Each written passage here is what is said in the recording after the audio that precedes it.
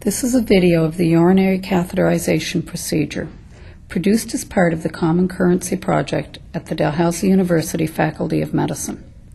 There may be slight variation in the procedure from institution to institution depending on policy and equipment used.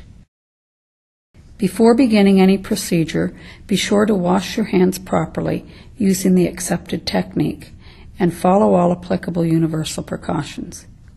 In this procedure, universal precautions involve protective eyewear and gloves. Mr. John Foley, a 67 year old male, was admitted to the emergency department a few minutes ago with complaint of urinary retention for the past 10 hours. He is very uncomfortable. The history has been taken. Mr. Foley states this has never happened to him before. He has no previous hospital admissions and denies any drug allergies. A staff physician has seen Mr. Foley and discussed the implications of this procedure with him. Good morning, Mr. Foley. My name is Debbie. I'm a nurse here in the emergency department.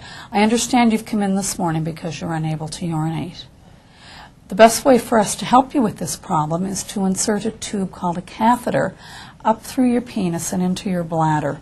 This will allow the urine to drain into a bag that will attach to the end of your bed.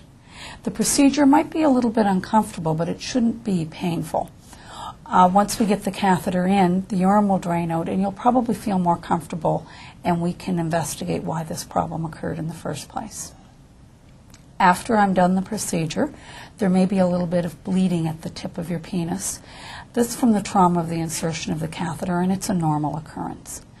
Every medical procedure has some complications, and this one is no different. The thing we worry about with a catheter insertion is a bladder infection. So if you should develop a fever or chills or just generally not feeling well, be sure to let us know so we can investigate this. With your permission, I'd like to go ahead with this procedure. Yeah, go ahead. Okay, do you have any questions before I start? No, go ahead. Okay. Prepare yourself for the procedure by taking off all excess jewelry, such as rings and watches. rolling up your sleeves, and if you have long hair, make sure it is tied back and off of your face. You are now ready to wash your hands. After washing your hands, prepare the patient by having him lie flat on the stretcher on his back, with his legs slightly abducted at the hips, exposing his genitalia. This way, when you are wearing sterile gloves, you can avoid contamination by not touching the bed linens. Ensure you respect the patient's dignity. On a standard table next to your dominant hand, arrange the equipment required for the procedure. The equipment includes a catheterization tray, some tape, a pre-filled 10 cc syringe of 2% xylocaine jelly as an anesthetic and lubricant, an appropriately sized two-way indwelling Foley catheter, a urinary drainage bag, and protective goggles for universal precautions. Open the urinary drainage bag, hook it onto the end of the bed, and put all the tubing on the end of the bed within reach, leaving the protective cover on the end of the tubing to avoid contamination. Put the protective goggles on.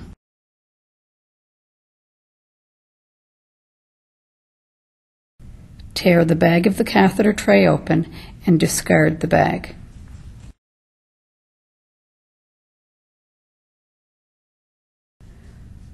Open the Foley catheter tray, remembering that all sterile trays must be opened in the proper manner.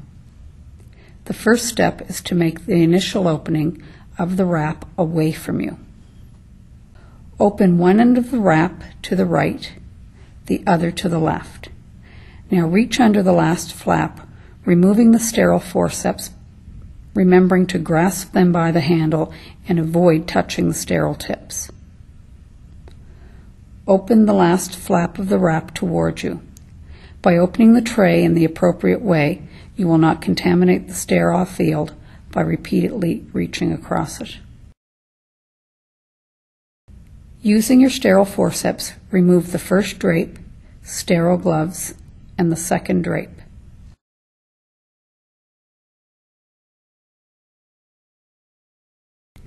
Continue taking things out of the graduated basin, which is the container used as a urine receptacle. Be sure to visualize that everything needed to complete the procedure is in the basin. Place each item so it is easily accessible when it is needed.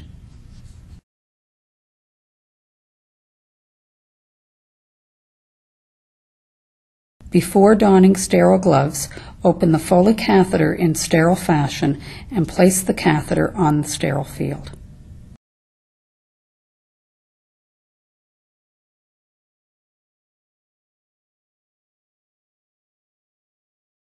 Discard the first set of forceps into the garbage can.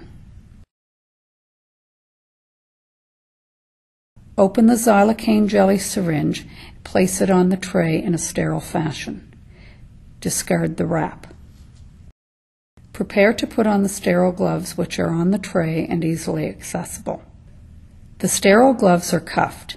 Pick up the first sterile glove from the inside with one hand, being careful not to touch the outside of it. Next, scoop underneath the cuff of the second glove, sliding it onto your ungloved hand. Now having sterile gloves in place, adjust them so they fit comfortably. With sterile gloves on, it is safe to touch anything on the sterile field. Remove the catheter from the sterile wrapper, placing it on the sterile field and discarding the wrapper. With respect to the catheter, local hospital policy, as well as the recommendation of the supplier, is to check the patency of the catheter balloon by inflating it using the pre-filled syringe from the tray. If the balloon inflates, make sure it will also deflate. When this is done successfully, put the syringe to the side. Note that two urologists consulted on this procedure do not consider this step necessary, given the quality of currently supplied Foley catheters.